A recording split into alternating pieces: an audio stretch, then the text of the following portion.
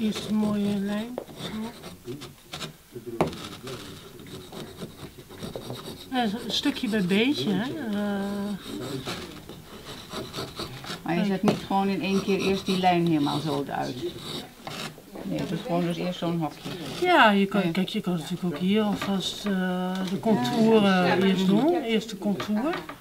En dan kijken waar je dieper moet en hoger moet. Ja, oké.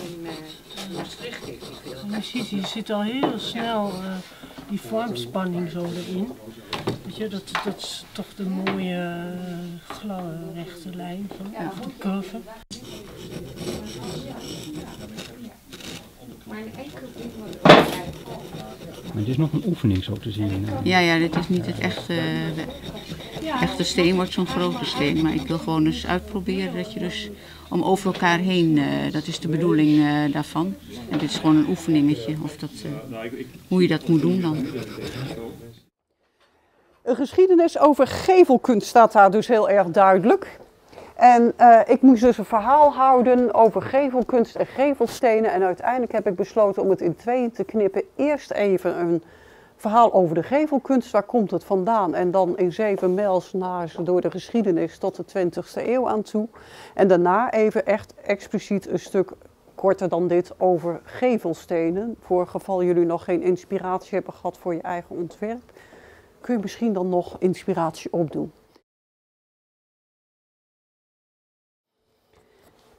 Nou, waar wordt dat dan vooral uh, gebruikt? In het raadhuis natuurlijk. Het burgerhuis hè, van alle burgers van de stad is een raadhuis. Nou, dan zie je dus al dit soort traceringen, hè, zeggen we net ook bij de bovenkerk. Hier heb je de pinakeltjes alweer. Uh, de tinnen van die kastelen. Nou, dat is hier heel mooi gedaan als hier. Hè. Dit is het stadhuis na de brand uit 1545. Die hoektorentjes komen natuurlijk ook van de kastelen af. Zijn hier ook allemaal sierelementen. Heeft eigenlijk helemaal geen functie meer. Maar het wordt gewoon nog wel nageaapt. En het is... Kijk, zo had u eigenlijk het stadhuis moeten zien met de middeleeuwse beelden. Dit is dan ook een zwart-wit foto. Zo, op deze volgorde staan ze ook in de Koormakspoort. Hè? En wat u ziet, zijn hier twee koningen. Um, Alexander de Grote, nee, Karel de Grote, Alexander de Grote. Dit is de matigheid, dit is geloof, justitia en, uh, god welke staat, ik kan hem hier niet zo gauw herkennen. Dit is het geloof met de dingen, justitia en de naaste liefde. Ja. Dat zijn dus uh, rechtse koningen. Er zijn twee uit de serie van negen helden. Waren in die tijd ontzettend bekend en beroemd. En dat waren negen koningen. Koning Arthur zat er bijvoorbeeld bij. Je had uh, drie heidense koningen. Je had drie Joodse koningen en dan drie christelijke koningen. En u begrijpt in die middeleeuwse denktrand dat die christelijke koningen natuurlijk de beste waren. Ze worden ook de negen besten genoemd trouwens. En zo'n stadsbestuur, door dat aan de gevel te zetten, zet zich eigenlijk in die traditie van die koningen. dan doe je dus nogal wat. je maakt ook aan je burgers duidelijk dat jij heel belangrijk bent. De dames zijn deugden, dat weet u allemaal natuurlijk. Vier van de zeven hoofddeugden zijn dat nog. En uh, ja, de vraag is een beetje, zijn die twee series compleet geweest aan dat raadhuis? We weten wel dat deze beelden, de oudsten, inderdaad uit de tijd van de bouw van het eerste raadhuis, dus van voor de brand uh, dateren, dus 1350 maken ze dat raadhuis. Nou, de oudste beelden zijn dan 1370. Vervolgens wordt er in 1420 nog eens wat aangeschaft en 1470 en dan zo in 1520 zijn ze ongeveer klaar. Tenminste, dat zijn dan de nieuwste, de jongste beelden, zeg maar. En dan in 1545 brandt dat raadhuis af. En het is dus niet duidelijk van zijn bij die brand dan beelden beschadigd. We weten wel dat die brand heel erg naar de achterkant van het gebouw uh, gericht was. Dat ook de schepentoren bijvoorbeeld is afgebrand. Dit is het restant wat wij nog hebben en wat hier in de jaren 30 is weggehaald omdat het uh, toch redelijk gevaarlijk was om langs het stadhuis te lopen.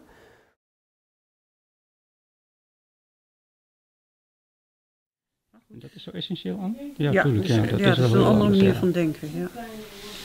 Dus, maar ik vind het wel lekker om nou eens even... eh, misschien even uit te leggen. Wij zijn eerst met klei begonnen met iets met je initialen. En dat is dus omdat je in, in lagen en in vlakken moet denken. Ga je dus dat eerst in karton doen. Dat je ziet dat er dus één achterlaag is, of hier. Dit is dus laag 2, die is gelijk aan, aan een deel van die poppetjes. Dan laag 3 is die ring. Nou ja, dat kwam in de lezing ook al naar voren. Dat, je ziet het hier trouwens ook, ring is echt heel mooi. En ring weer kom, je ziet trouwens hier met die cirkel. Een ring combineren met vierkant is, is ook heel eh, mooi vind ik. En dan heb je dus laag 3, dat is dit, de ring met het tweede deel van die poppetjes.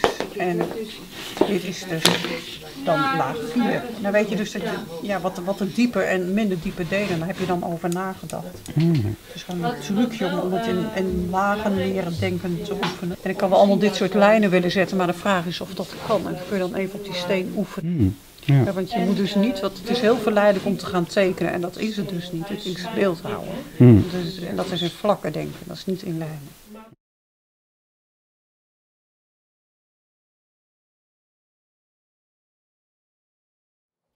Deze zit wel in Kamp, in de Bovennieuwstraat. Nou, één keer raden wat... eh, aanvankelijk begint dat met die, eh, ja, met die eh, gevelstenen rond 1500 om jaartallen hè, te geven. En dan doe je dan wat leuke dingen omheen. En op een gegeven moment verandert dat dus heel langzaam in van... hé, hey, ik ga, het jaartal wordt minder belangrijk, maar ik ga mijn beroep ermee aanduiden.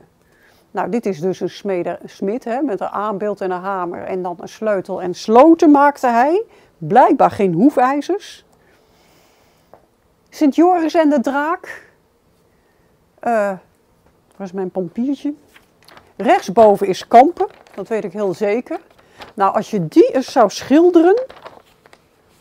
Want je ziet dus Sint, een, een draak hier op de voorgrond en dat Sint Joris. Maar hier is nog een heel berglandschap en best kans als je dat gaat schilderen dat je dan het kasteel en de prinses ook nog aantreft. Linksboven, deze, ik vind deze draak eh, fenomenaal. Ik ben echt voor draken, dus eh, die vind ik echt heel prachtig. Ik heb niet kunnen vinden. is ook heel mooi gestileerd. Ja. Hij lijkt mij niet heel oud. Ik vind hem heel mooi en ik weet niet waar hij vandaan komt. Deze is trouwens nog jonger. En die komt, is in Den Bosch te vinden. We zijn er bijna hoor. Het paradijs. Prachtig hè. Denk je dat je een unieke gevelsteen hebt in Kampen links. En rechts heb je precies dezelfde gevelsteen uit Rotterdam. En het fantastische van deze twee gevelstenen is dat ze allebei op een huis zaten aan de rand van een klooster. Dus ik ben er nog niet achter, ben ik nog over aan het nadenken. En een beetje, ik hou het in mijn achterhoofd. Op een gegeven moment valt de puzzel wel in elkaar. Van heeft dat met het klooster te maken of is dit toeval?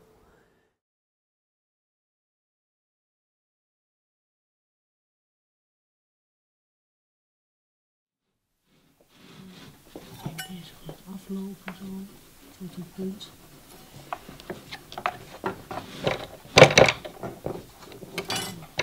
Dit.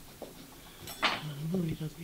niet helemaal recht. Dus dan ga je je schuin Dus dan loopt het weer hier naartoe. En dat wil je. Je wil steeds dat dat verspringt. Ja. Maar je moet wel ongeveer, eh, daar moet je vlak voor in. Ja, ja, ja. ja. Dat, dat snap je, hè? Dat zie je. Stel als je zegt, dan moet ik eigenlijk hier ook nog.